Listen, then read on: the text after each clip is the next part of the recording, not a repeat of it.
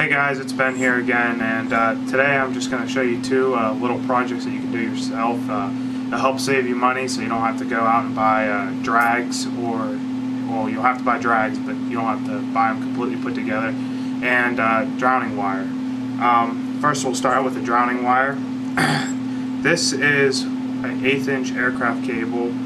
It is about the thickest that I use it be mo mostly for beaver and coyote. Uh, coyote obviously just being to help guide the critter off the road or wherever I'm trapping. But uh, all you need for this project are two double ferrules or two nuts and a, uh, a swivel is all you need for this project and uh, a hammer. You want to cut, start with your cable, cut it to the whatever length you want. This one's kind of short. Uh, it does a trick though for land is where I use this one. But uh, take one end, put a loop in it, then put your double ferrule and or your nut and smash it down with a hammer. You don't need to go out and buy like a ferrule swagger or anything like that. A hammer works just fine on it. And then on your, at this point is when you want to stick on your swivel just like that you put it through one side and keep the other side open and that will be the side that you actually put another hook through, put it through, and then shut it down on your trap chain like that. And uh, you go to the other end, do another loop, put a nut or a double ferrule on it, smash it down. It works great. Whenever you're setting it up though, you want to make sure to kind of look at it like you want to drag easily to the direction you want it to go. Because you could put it in reverse and it's that all that animal's going to do is sit there and fight it. It won't slide. The other thing I'm going to show you are the drags.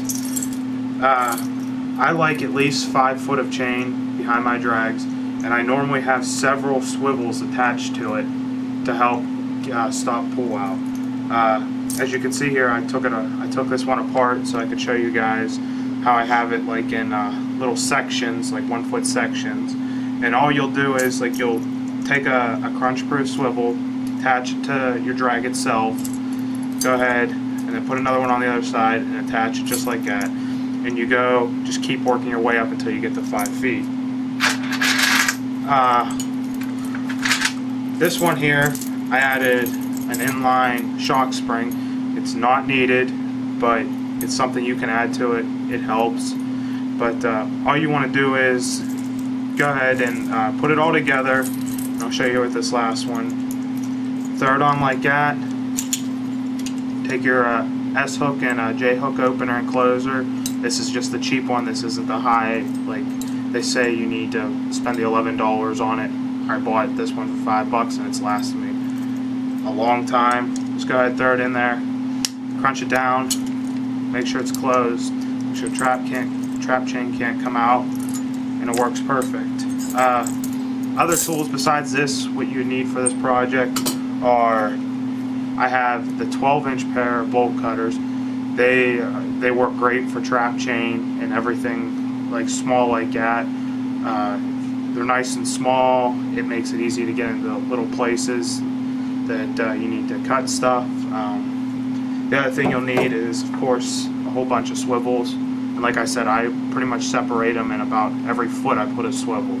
You don't need to, but it will help like slow down your chances of getting pullouts. So uh, that's the video for today, guys. Uh, any questions or comments or anything, just uh, shoot me a message or write me a comment or whatever, and uh, please subscribe. Thanks, guys.